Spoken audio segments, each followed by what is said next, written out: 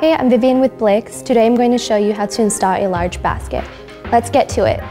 Hardware required for this job will be four M5 25mm half round head screws and four washers.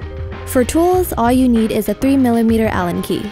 The Blix large basket is designed to be used with the Blix front rack or the rear rack on any of our 2019 or later models. If you're installing the basket on a rear rack, there are two possible configurations, horizontal or vertical. Insert the bamboo board. Lay the bamboo board inside the basket, making sure all the slots in the board line up with the slots in the basket. Line up the four slots on the basket to the four holes on the rack. Place the four 25mm M5 screws in each hole, using one washer for each bolt. Screw these in evenly using the 3mm Allen key.